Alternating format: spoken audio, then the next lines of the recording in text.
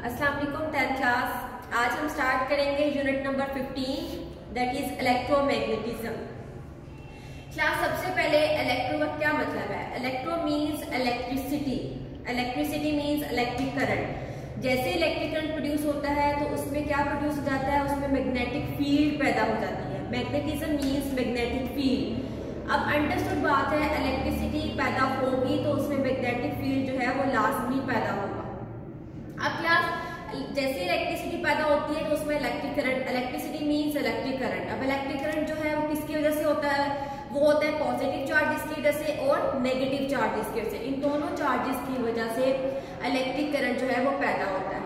और यहाँ पे क्लास हमने पढ़ा है मैग्नेटिज्म का क्या मतलब था? Magnetic field so magnetic field किसकी वजह से पैदा होती है? मैग्नेटिक फ़ील्ड हमेशा पोल्स की वजह से पैदा होती है। वो पोल्स कौन कौन से हो सकते हैं? वो पोल्स नॉर्थ पोल हो सकते हैं एंड साउथ पोल हो सकते हैं। क्योंकि जब हम एक मैग्नेट लेते हैं तो वो मैग्नेट में दो पोल इंडिकेट होते हैं। एक जो है वो नॉर्थ पोल होता है और एक होता है south pole so magnetic field due to poles की वजह से क्रिएट होती है और इलेक्ट्रिक करंट जो है वो पॉजिटिव और नेगेटिव चार्जेस की वजह से पैदा होता है। नेक्स्ट अब हम इसकी डेफिनेशन की जाने मूव करते हैं। इसकी डेफिनेशन इलेक्ट्रोमैग्नेटिज्म की। है it is a study of magnetic effects of current इसमें हम करंट का मैग्नेटिक इफ़ेक्ट के बारे में स्टडी करते हैं। जब कोई भी हम करंट कैरिंग कंडक्टर लेते हैं, जब उसमें करंट पास आउट किया जाता है तो उसमें मैग्नेटिक इफ़ेक्ट पैदा होता है। उसकी हम स्टडी जो है वो करते हैं इलेक्ट्रोमैग्नेटिज्म में। अब इसके लिए जो है वो हम एक एक्सपेरिमेंट करते हैं। एक्सपेरिमेंट के ज़रिए हम ये एलेबोरेट करेंगे किस तरह से जो है करंट कैरिंग कंडक्टर में जो है वो मैग्नेटिक इफ़ेक्ट पैदा होती है। अब इसके लिए एक्सपेरिमेंट है। इसके लिए एक्सपेरिमेंट करने के लिए हमें magnetic effect of study current कोई एक स्टडी का मतलब है मुसलसल करंट जो है वो किसी भी कंडक्टर में से पास आउट करेंगे और उसमें क्या पैदा करवाएँगे? मैग्नेटिक इफ़ेक्ट पैदा कराएँगे। अब इसके लिए है एम्पियर एम्पियर ने क्या डिस्कवर किया? एम्पियर ने डिस्कवर किया कि मैंने करंट पासिस हुए कंडक्टर जब किसी भी कंडक्टर में से करंट पास आउट करता है तो उसमें क्या पैदा होती है? मैग्नेटिक फ़ील्ड पैदा होती है। इसके बाद मुख्तलिफ़ साइंटिस्ट के व्यूज़ जो है थे वो चेंज थे। आ, लेकिन एम्पियर का जो व्यू था वो यही था कि जब किसी भी कंडक्टर में करंट पास आउट करेगा तो अंडरस्टूड है उसमें मैग्नेटिक फ़ील्ड भी उसके अराउंड पैदा होगी। अब इसके लिए एक्सपेरिमेंट है इसके लिए हमें क्या चाहिए? फर्स्टली हमें चाहिए वी टेक स्ट्रेट कंडक्टर हमें एक स्ट्रेट कंडक्टर वाइट चाहिए। उसको हमने एक वर्टिकली जो है वो हमने पास आउट करना है किसी भी कार्डबोर्ड से। इसका सेकंड फीचर ये है थर्ड वन है कनेक्ट द टू एंड्स हमने दोनों तारों को जो हमने कंडक्टर लिया है, हमने उसकी दोनों वायर्स को एक बैटरी के साथ जोड़ देना है। फोर्थ इसका पॉइंट होगा कि उसमें जैसे ही जब बैटरी से उसमें चार्जेस पास आउट करेंगे पॉजिटिव और नेगेटिव चार्जेस मूव आउट करेंगे तो उसमें क्या पैदा होना शुरू हो जाएगी? मैग्नेटिक फ़ील्ड पैदा होना शुरू हो जाएगी। वो मैग्नेटिक फ़ील्ड जो है वो अराउंड द वायर पैदा होगी। और इसकी डायरेक्शन जो है वो कंसेंट्रिक सर्कल सर्कल्स की फॉर्म में होगी। अब क्लास यहाँ पे हमने ये एलेबोरेट करिए जो कि एम्पियर का एक फिनोमिना था। एम्पियर ने कहा था कि जब किसी भी करंट को जब हम आ, किसी भी वायर में से करंट पास आउट करता है तो मैग्नेटिक फ़ील्ड पैदा होती है। अब यहाँ तक हमने यहाँ पे यहाँ पे एलेबोरेट हमने यही किया है कि यहाँ पे कोई भी फ़ील्ड जो है वो पैदा होगी। मैग्नेटिक फ़ील्ड पैदा होगी करंट के पास होने से। अब ये मैग्नेटिक फ़ील्ड को हम लोग जो है वो अपनी नेकेड आई से विजुलाइज नहीं कर सकते। इसके लिए हमें क्या करना पड़ेगा? अब हम, क्योंकि मैग्नेटिक फ़ील्ड को हम पैदा होते हुए हम नहीं देख सकते। इसके लिए हमें क्या करना पड़ेगा? हम चेकआउट कैसे करेंगे? इसके लिए हमें चाहिए एक कंपस नीडल कंपस नीडल में जो है वो पोल्स लगे होते हैं, उसमें नॉर्थ एंड साउथ पोल होंगे। वो हमें कंपस नीडल इसके लिए चाहिए और सम आयरन फीलिंग्स चाहिए। अब जैसे ही हम कोई भी कंपस नीडल रखेंगे, ये सब आयरन फीलिंग्स रखेंगे तो वो जो है वो आपके मैग्नेटिक फ़ील्ड के डायरेक्शन के अकॉर्डिंगली ही अपने आप को अलाइन कर लेगी। तो यहाँ से हमें पता चलेगा कि जैसे ही कंडक्टर में करंट गुजरा है तो मैग्नेटिक फ़ील्ड पैदा हुई है। अब इसके लिए एक्सपेरिमेंट जो अभी हमने किया है, उसको हम, मैं आपको डायग्राम के थ्रू जो है वो बताती हूँ। ये देखिए क्लास जो अभी मैंने आपको एक्सपेरिमेंट बताया है, वो हमने आप ड्रामेटिकली अब आप समझेंगे इसको किस तरह से हमने किया है। इसके लिए हमने क्या किया है? एक हमने कंडक्टिंग वायर ली है, ठीक है? ये करंट कंडक्टिंग वायर है, ठीक है? अब हमने इसको जो है, इसके दोनों एंड्स को हमने जोड़ दिया है एक बैटरी के साथ, ठीक है? ये बैटरी का पॉजिटिव टर्मिनल है, ये बैटरी का नेगेटिव टर्मिनल है।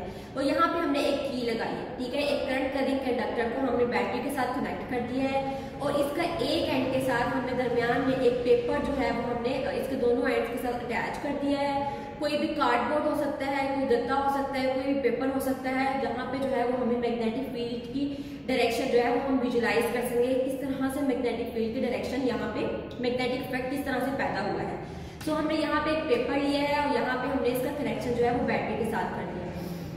अब जैसे ही हम लोग इसको बैटरी से जो है वो चार्जेस जो है मूव आउट करना शुरू करेंगे तो इस कंडक्टिंग वायर में जो है वो करंट पास आउट करना शुरू कर देगा। क्योंकि वायर हमने कौन सी ली है? वो कंडक्टिंग वायर ली है कंडक्टिंग वायर वो होती है जो कि आपके करंट को पास आउट करती है, उसमें अपने अंदर से गुजरने देती है करंट को गुजरने देगी अब जहाँ जैसे ही इसमें से करंट गुजरेगा तो यहाँ पे जो है वो मैग्नेटिक फ़ील्ड लाइन्स और फोर्स जो है पैदा होना शुरू हो जाएँगे। मैग्नेटिक फ़ील्ड पैदा हो गया। अब क्लास ये वाली मैग्नेटिक फ़ील्ड जो है वो आप लोग अपनी आँख से इसको नहीं देख सकते। अब इसके जैसे मैंने आप लोगों को पहले बताया था, हमें दो चीज़ें चाहिए, एक तो हमें कंपस नीडल चाहिए और सम आयरन फीलिंग चाहिए।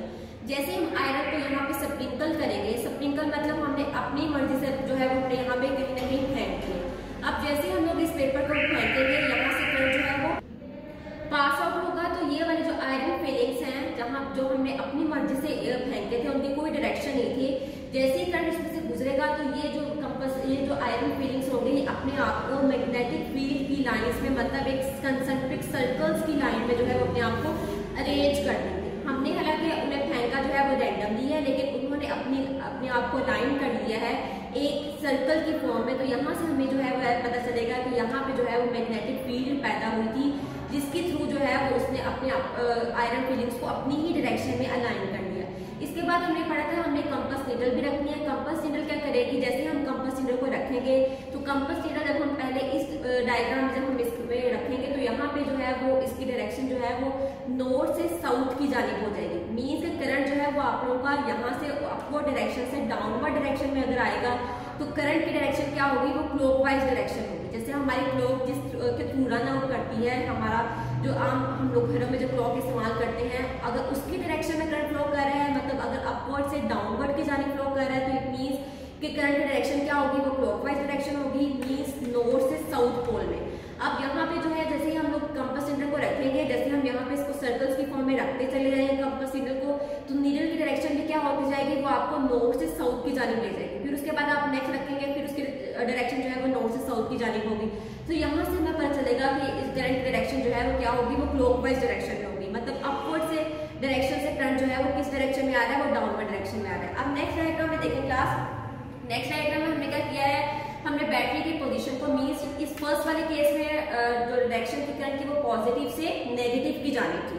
ठीक है? नॉर्थ से साउथ पोल की जानी थी क्लॉकवाइज डायरेक्शन अब जब हम एंटी क्लॉकवाइज डायरेक्शन की बात करेंगे तो अब हमने बैटरी की पोजिशन को इन्वर्स कर दिया है। अब नेगेटिव ऊपर कर दिया पॉजिटिव नीचे कर दिया। अब जैसे करंट फ्लो करेगा तो करंट फ्लो करेगा आपका नेगेटिव की जानी पॉजिटिव से बैकवर्ड ऑपोजिट डायरेक्शन फ्लो करेगा। पॉजिटिव नीचे है पॉजिटिव से जो है करंट फ्लो करना शुरू करेगा वो आपका जाएगा, आपका नेगेटिव की जानी जाएगा। और यहाँ पे जो आपने कंपस सीटर रखनी है, उसकी डायरेक्शन होगी फ्रॉम साउथ पोल से नॉर्थ पोल की जानी। कोई डायरेक्शन अब क्या होगी वो? ऑपोजिट होना शुरू हो जाएगी। क्योंकि अब नॉर्थ पोल इस साइड पे है और साउथ पोल इस साइड पे। और सो करंट की डायरेक्शन क्या होगी वो? नॉर्थ पोल से साउथ पोल की जानी। मतलब ऑपोजिट डायरेक्शन में आएगा। पहले आपकी डायरेक्शन जो थी, वो इस साइड से थी, वो आपकी डायरेक्शन जो है, वो नॉर्थ से इस जानी जा रही थी। अब आपका जो है, वो जब हमने बैटरी की पोजिशन को इन्वर्ट किया है तो हमने अपने मैग्नेट की पोजिशन को भी इन्वर्ट किया है।